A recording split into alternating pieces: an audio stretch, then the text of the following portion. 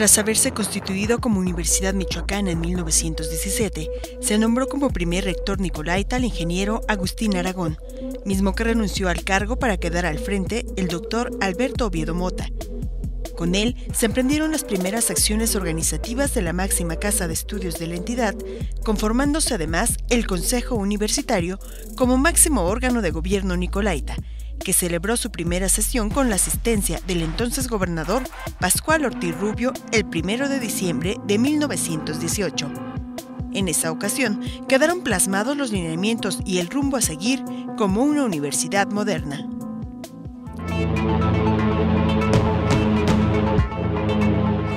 ...2017... Año del centenario de la Universidad Michoacana de San Nicolás de Hidalgo.